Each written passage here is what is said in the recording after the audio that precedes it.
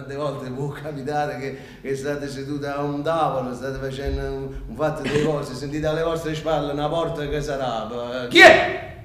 Chi è? Avanti, chi è la porta? Avanti!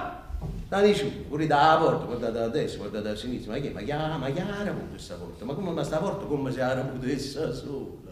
Allora di nuovo sopraggiunge la giustifica coscienza, ma poi la, la porta si è aperta da sola, ma la porta sarà messa sola, è stato un morto, è stato un morto che era avuto la porta, ma guardate, ma ha sfottuto, si è fatta una risata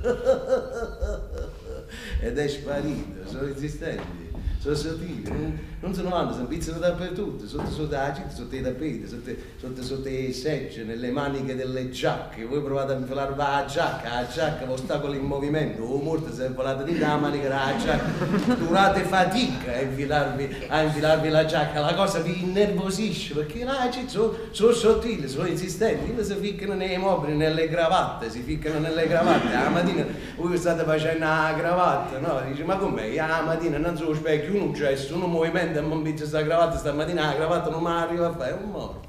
È un morto che si è infilato dentro al nodo della cravatta, mi broglio i capelli sotto, i capelli coppo, un nodo che non può fare, perché la cravatta non va potete fare, la cravatta stamattina non va a fare shit, perché la cravatta non va potete fare. Ecco perché non possiamo dormire la notte.